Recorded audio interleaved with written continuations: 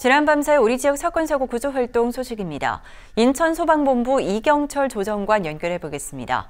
이경철 조정관 나와 계신가요? 네, 안녕하세요. 인천 소방본부 이경철 조정관입니다.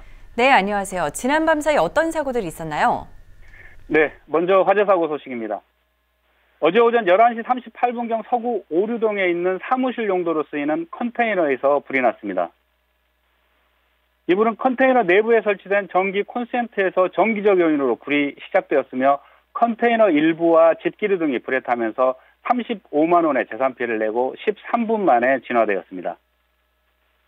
또한 오후 4시 9분경에는 계양구 동양동에 있는 5층짜리 상가 건물 1층에서 불이 났습니다. 이불은 1층 주점 외부에 설치해 놓은 냉장고에서 최초 불이 시작된 것으로 추정하고 있으며 건물 외벽과 냉장고 등이 불에 타면서 50만 원의 재산 피해를 내고 18분 만에 진화되었습니다.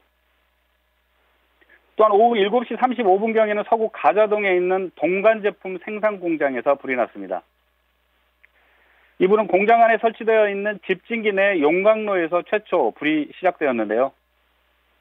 다행히 다친 사람은 없었으며 집진기와 필터 등이 불에 타면서 26만 원의 재산 피해를 내고 21분 만에 진화되었습니다. 다음은 구조구호 발동 소식입니다. 어제 오후 12시 38분경 계양구 효성동에 있는 한 빌라에서 사람이 떨어졌다는 119 신고 전화가 있었습니다. 이 사고는 2층에 거주하고 있던 60대 여성이 1층에 주차되어 있는 승용차로 추락하면서 목과 허리를 다쳐 출동한 계양소방서 119 구급대에 의해 응급처치 후 병원으로 이송되었습니다.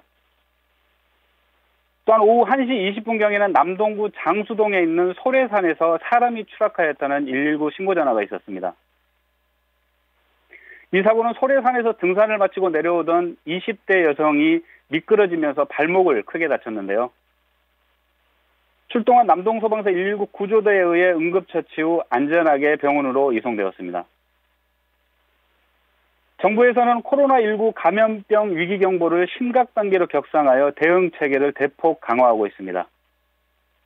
인천시와 인천소방본부 그리고 모든 유관기관에서는 코로나19 확산 방지에 총력을 다하고 있는데요.